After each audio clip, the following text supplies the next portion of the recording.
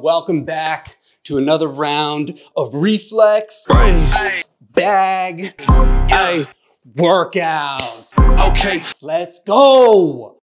hey, hey, okay. Let it be known, I'm working hard when I ain't on the phone. This ain't a home, this ain't a phone. Grind never stopping, I'm keeping it cold. If this is your first time here, welcome. My name is Coach J Pro, and in this beginner series, I'm gonna take you from complete beginner to reflex bag master.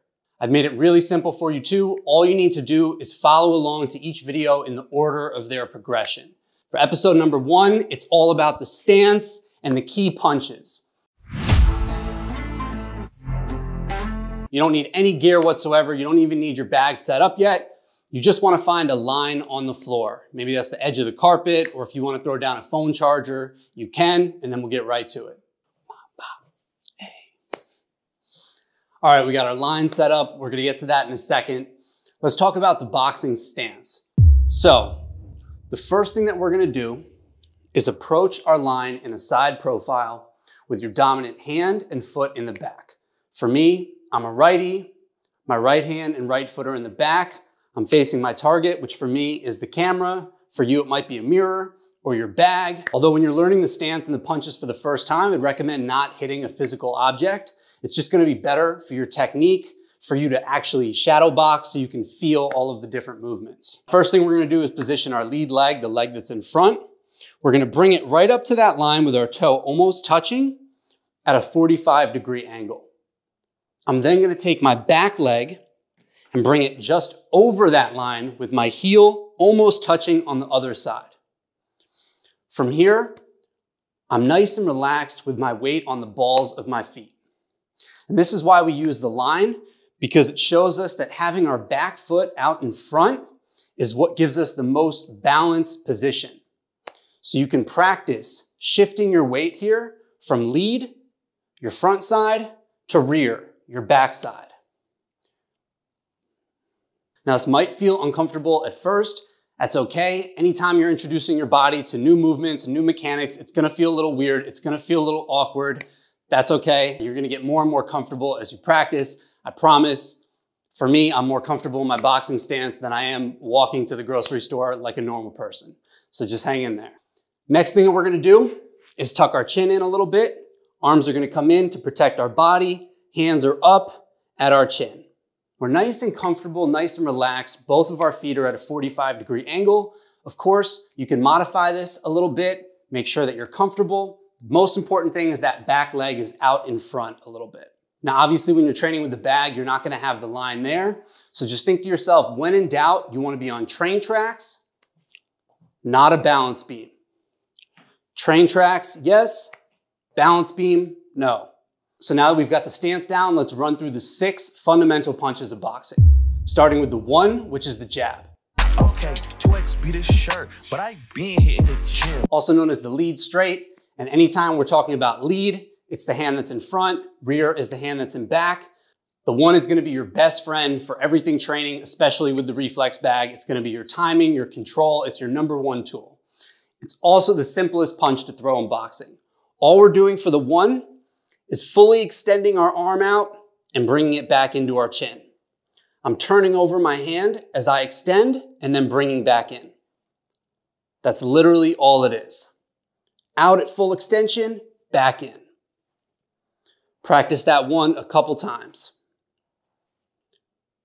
Easy to learn, difficult to master. Now for the two and everything up, it's important to note that our power is gonna come from the ground up.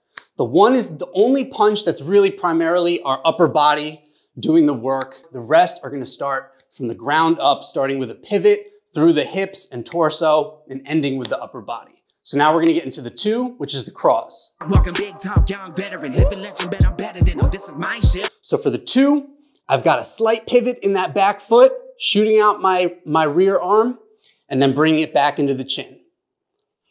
Out, full extension, and then back in. So you feel the pivot start at your foot, drive through your hips, and then back in.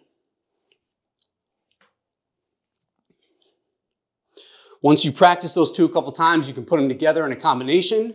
You can throw a one, two, one, two. As I throw that one, as the one is coming back, I'm shooting out the two. One, two. This is your best friend when you first start using a reflex bag. So those are the straights. Now we can move into the rounded punches, starting with the three, which is the lead hook. Now the hooks are a little bit more tricky, so we're gonna break them down into a couple steps. First thing is I'm gonna bring my elbow up to a 90 degree angle. My wrist turns out away from my face. I'm gonna pivot my front foot to drive that punch across. Now think about it as you're squashing a bug with your lead foot.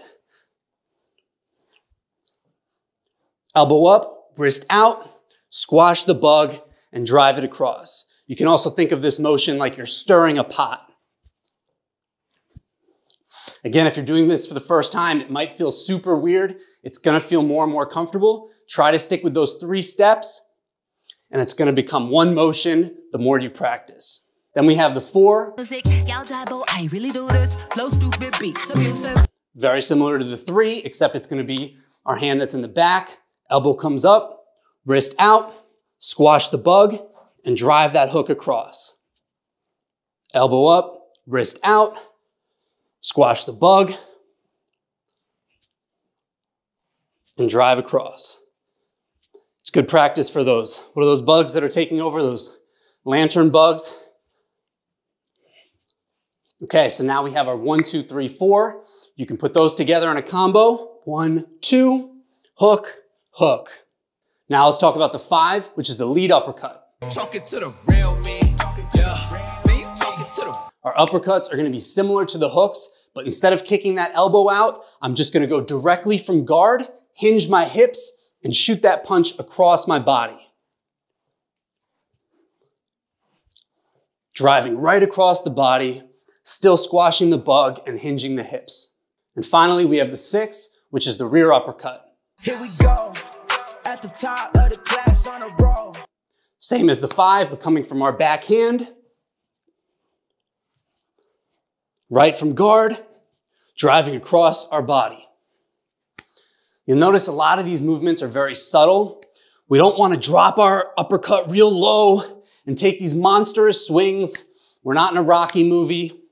We want nice, subtle movements right from guard. So putting them all together, we have the one, the two, three, four, five, and six. Best thing to do at first is get in front of a mirror and practice going through these punches nice and slow. Take your time, and you're gonna get more and more comfortable as you go.